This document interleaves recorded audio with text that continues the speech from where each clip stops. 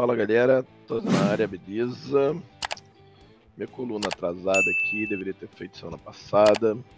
É... Não fiz. É... Porque acabei perdendo meu pai na quinta-feira. Pessoal que estava acompanhando no Twitter e, e também aqui, né, já sabia que meu pai estava internado e, enfim, e aí eu tive que viajar para Vitória mais três vezes. Acabei não conseguindo fazer a coluna aqui. É, meu pai é, fez a passagem na, na quinta-feira e aí na sexta-feira foi o sepultamento. Então vim para o Rio na sexta da madrugada e bom, aí nesse meio tempo tinha teve a final da Libertadores, eu acabei não conseguindo fazer como prometido a minha coluna no, no pós-jogo do, do, do, sábado, por motivos de, de comemoração, obviamente. Depois teve eleição no domingo, enfim, ontem e hoje estou aqui, dia 1 de novembro, é, inclusive aniversário da minha mãe, mandar um beijo para ela, os parabéns. Então, assim, tem sido dias assim bem estranhos assim, né, de mistura de sentimentos, de tristeza com alegria, com com. É... Enfim, tem sido bem complicado. Mas a gente tem que manter aqui a, a serenidade. Então, eu, primeiro queria falar sobre o título, né? Acho que talvez. É, talvez um dos mais importantes aí da nossa história. Nossa terceira, nossa terceira Copa Libertadores. É uma campanha espetacular. Invicto. É, empatou um jogo e ganhou todos os outros. É, o jogo em si, como toda final, é qualquer coisa, né? É, foi feio, foi estranho. O Flamengo meio que dominou, tomou uma pressão no início, tentou. O, o Atlético Paranaense tentou marcar homem a homem, tentou mudar algumas coisas para tentar dificultar o Flamengo. Mas teve os erros que que você tem quando você. quando, quando o físico começa a, a pedir. Então teve um, a expulsão é, do Pedro Henrique, né? né é, faz, ele, é, essa marcação individual é, faz com que ele saia para caçar o Gabriel um pouco na entrada da área, faça uma falta por trás, recebe, recebe amarelo. E depois numa jogada que parecia morta do lado esquerdo, já com o Felipe Luiz saindo, uma, uma pena, inclusive, o Felipe Luiz ele se machuca praticamente no mesmo momento que ele se machucou ano passado. É, sentiu a panturrilha ano passado, dessa vez foi, se não me engano, o joelho. Ele sai aos 15 e entra o Ayrton Lucas. Que numa bola espirrada do lado esquerdo, o Ayrton Lucas sai atrás, ganha na corrida toca a bola e ele vai dar um rapa no Ayrton, tomando o segundo amarelo, sendo expulso e aí mudando completamente o jogo. Que aí, e aí tem a questão da sorte também, e. Não vou dizer sorte, mas de entender o momento. O Flamengo aproveita esse momento, né? É, e aí logo depois faz uma bela jogada do lado direito ali entre Everton Ribeiro e Rodinei. Lembrando que, que eles trocam de papéis, na verdade, a parede é feita pelo Rodinei, o toque é feito pelo Rodinei. Quem cruza é o Everton Ribeiro de perna direita. O Gabriel se antecipa a zaga e faz o gol. O Gabriel, mais uma vez, é mortal, né? É decisivo. É, já tá. E aí eu acho que com esse título e a forma como foi, acho que dá para dizer que ele aí é um tá ali no, no panteão aí dos maiores ídolos da história do clube.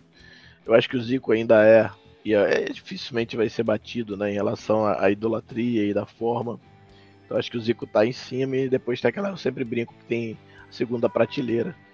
E o Gabriel já estava lá e eu acho que já está lá com destaque, né, junto do Leandro, junto do, é, do Pet, do Renato, do Adílio, que são os meus, né? Eu falo dos meus, né? Eu acho que eu sempre digo que idolatria pessoal, então os meus está aí, né? E partidaça do Everton Ribeiro, agora falando um pouco dele. É... Quando estava difícil o jogo, com a marcação individual, ele começa a rodar o campo e atraindo o marcador, abrindo espaços, conseguindo é, fazer jogadas, mesmo jogo bastante truncado. É, outro que fez uma partidaça foi o Léo Pereira. E aí, muito legal essa volta por cima dele, né? Dele, do Rodinei, principalmente. Muito legal. Do Davi também, né? Que tinha ido muito mal ano passado. É, enfim, é um título muito importante. E aí eu volto aqui para fazer uma retrospectiva rápida aqui. Um ano que parecia completamente morto. Já falei isso algumas vezes.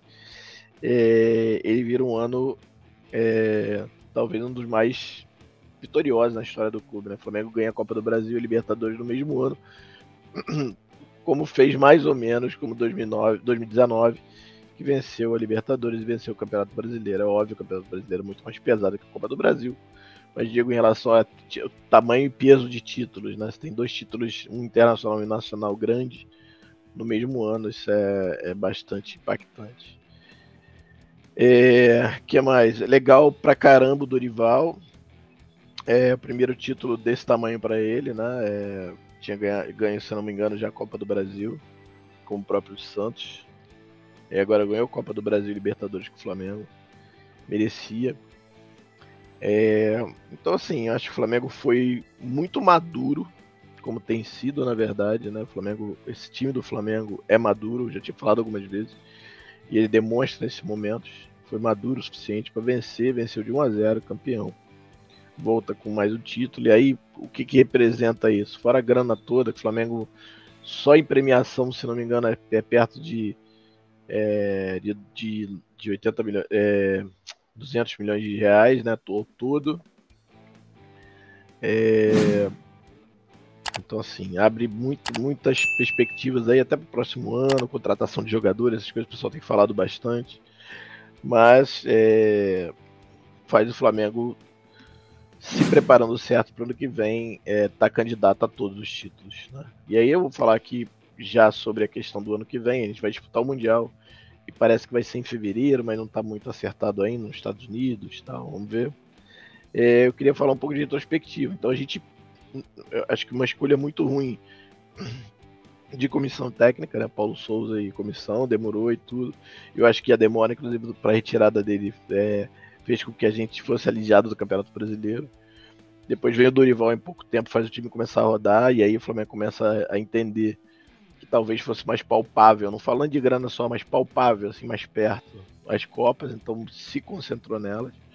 Criou-se duas equipes, uma, uma ideia inteligente que é talvez isso vá se consolidar no que vem, eu vou falar sobre isso daqui a pouco. É, e aí jogou com um time no brasileiro e um time nas Copas. O brasileiro, que tá já praticamente é do Palmeiras, vai ser do Palmeiras. Mas o Flamengo tá brigando ali pela segunda colocação. Hoje é o terceiro, atrás do, do Inter, mas com a mesma pontuação do Fluminense, que venceu ontem. É, com o time reserva, não, o time B, o time do brasileiro, tá aí brigando, deve jogar amanhã contra o Corinthians com esse time mesclado, talvez mesclado, talvez o pessoal fale em festa, não sei. Eu até tinha brincado, perdão. Até tinha brincado que teve uma festança ontem. Foi ontem, não, desculpa, foi ontem? Ou antes de ontem? Foi antes de ontem, né? Uma festança que teve, no, se eu não me engano, numa boate aqui no Rio, dos jogadores e tal. Muito bacana, eu acho merecido. Tem que, tem que festejar mesmo. Jogadores, pô, é, escornearam aí, jogaram pra caramba e tal. Acho que merecem. O Gabriel até logo no, na saída do jogo lá em Guayaquil brincou que já estaria se dando férias é... E ainda tem convocação dia 7, é uma confusão danada. Mas enfim.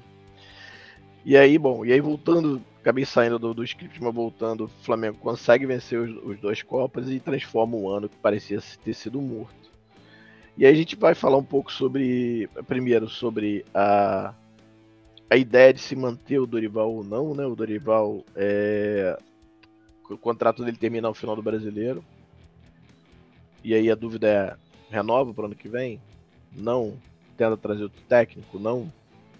É, eu já falei no Twitter, vou falar aqui, eu sou a favor da renovação dele. Acho que não faz nenhum sentido a gente tentar trazer, zerar um trabalho mais uma vez, para aí começar de novo, tudo de novo, como foi feito com o Paulo Souza, por exemplo, e um técnico. E qual técnico, né? Acho que talvez nessa brincadeira aí, se, aí se falam muito, ah, não, se o Tite é, sair, ele deve sair da seleção, e aí o, o, Dorival podia ser o nome, e aí se ele sair, pode ser que o Tite é, pode ser um nome pro Flamengo. Aí é tudo muita especulação, né? Eu não acredito é, que o Tite vá sair. dependente do resultado, talvez com o título se ganhar, talvez, né, sair por cima, mas não dá para dizer. É, de qualquer forma, eu sou a favor, muito a favor da renovação do, do Dorival. Acho que isso vai acontecer até para caso a seleção brasileira tente tirar, tem uma multinha ali para pagar, né? É, feito isso, a gente pode falar também de renovação de jogadores. Tem jogadores vencendo o contrato no final do ano. Os Diegos, Alves e Ribas não vão ficar. Isso para mim está muito claro. Inclusive, o Diego já falou que vai, provavelmente vai aposentar e tal, vai para os Estados Unidos, enfim. Vamos ver, né? Que tudo muda muito, né? A gente não sabe. Mas tem Felipe Luiz, Davi Luiz e Rodinei, que encerram o contrato agora no final do ano. A gente não sabe se eles vão ter esse contrato renovado ou não. E aí eu botei no Twitter que, que perguntando ao pessoal o que eles achavam grande maioria é, renovaria com os três. Com o Rudinei deu lá uns quase 57 a 43%, mas tanto o Davi quanto o, o Felipe tiveram uma aceitação de mais de 80% para a renovação de contrato desses dois jogadores, que eu concordo plenamente. O Rodinei eu acho que é, fez uma temporada excelente, mas aí tem que ver como é que o Flamengo vai fazer, porque o Flamengo contratou o Varela, mas é empréstimo, mas como é que vai fazer? Tem o Mateuzinho, vai contratar um outro lateral. Lateral é uma posição morta no Brasil e não, até no exterior. É difícil achar lateral. O Varela é um bom lateral. Se a ideia é manter o Varela e virar o lateral titulado que vem, não faz sentido ficar com o Rodinei, não faz sentido renovar. E ele sai de graça e tem clubes parece querendo e tal. Agora, se é, existe um lobby, inclusive, dos jogadores lá em Guayaquil e tem, tem rolado para o Rodinei ficar. E aí se falou de notícia que o Flamengo vai conversar. Bom, vamos ver qualquer forma, acho que a gente tem três laterais aí hoje: Mateuzinho, Odinei e Varela. É, o Varela não teve muito espaço, então acho muito possivelmente, se o Rodinei ficar, eu acho que o Mateuzinho vai ser negociado, emprestado, e se não ficar, vai ser esses dois laterais, né? Então é isso. Falei do Dorival, falei desses dois, é, desses três, quatro jogadores, e aí a gente pode pensar sobre, sobre contratação para o ano que vem. É, acho que mais à frente, mas a gente pensando rapidamente aqui, eu acho que a gente precisa de um, principalmente de um meia. A gente não tem meia de ligação. É... Não digo para substituir, porque é difícil substituir o, o Arrascaeta ou Everton Ribeiro, mas um jogador que seja mais cerebral, né? É... Eu gostaria muito, né? Mas vamos ver. Beleza? É... Bom, como eu falei, Flamengo vencendo a Libertadores. Flamengo se acredita a jogar a Recopa contra o Del Valle, mais uma vez. E a Supercopa dos Campeões ganhando a Copa do Brasil contra o Palmeiras. Possivelmente teremos a Supercopa novamente Flamengo e Palmeiras em Brasília. Né? Aparentemente em Brasília. Né? Esse ano foi, é, foi em, é, é, em, Cuiabá, mas acho que deve voltar para Brasília, inclusive. Né? É, o Flamengo joga o Mundial, não sabe ainda, mas dizem que em fevereiro, provavelmente Estados Unidos, mas isso não está certo ainda, mas Flamengo joga o Mundial. É, tem Copa do Mundo agora, né? Tem, tem convocação definitiva no dia 7, tem Copa do Mundo. Se não me engano, deve começar no final do, de novembro e deve estender até mais ou menos meio de dezembro. É, então, assim, a gente vai ter que ver. Falei sobre, tinha falado anteriormente sobre o possível é, permanência da ideia de dois times, né? Eu acho que isso vai acontecer, vai ser solidificado, principalmente se tiver o Dorival ainda aqui. E aí o Flamengo vai, vai melhorar ainda mais o elenco para também melhorar o time B, né? É, no próximo ano é, a gente tem a possibilidade de perder alguns jogadores. O Pedro, se for bem na Copa, por exemplo, é muito difícil ficar no Brasil. Ainda tem idade para ir para a Europa, possivelmente irá. O, o nosso amigo João Gomes, idem. O Flamengo tem o Eric Pulgar, que foi bem nos jogos que jogou aí no time B, jogou pouco, mas jogou, por exemplo, muito bem contra o Santos. Acho que é uma possibilidade interessante para o ano que vem. É, e aí, obviamente, que se sair é, o, o João e, e o Pedro, a gente vai ter que trazer, repor centroavante e volante. Beleza? É isso. É é, dedicar é, ao título, o título da Copa do, da Copa do Brasil Libertadores ao meu pai, meu querido pai, Almirante Tosini, que faleceu na última quinta-feira. É, para mim, meu grande ídolo, minha grande inspiração de vida. É, se chamava Arthur também, então não era Flamengo, mas enfim, é, descansou. Eu sei que tá olhando por mim agora, tá olhando pela gente, pelo meu irmão. É, é isso. Te amo, meu pai, onde você estiver. A gente vai se encontrar de novo. É, só me esperar aí, não sei quando. Espero que não, não muito daqui a pouco, né? Eu quero viver ainda bastante um pouco mais. Né? Gente tem nossa missão. Ele cumpriu a dele, espero cumprir a minha. E dedicar também esse programa, além de, dos títulos, a minha mãe que faz aniversário hoje, Dona Maria Helena. Beijo, te amo. 71 anos de idade hoje. Não estarei com a senhora, estou aqui no Rio, mas fica aqui meu beijo. E é isso, rapaziada. É, um ano que parecia morto virou talvez um ano mais um dos anos mais vitoriosos da história do clube. Tendência é o Flamengo crescer cada vez mais é o que a gente mais espera. É, é isso, beleza? Valeu, gente. Até semana que vem. Ou até semana que vem não, até quinta, né? Provavelmente. Tchau, tchau. Jogada 10.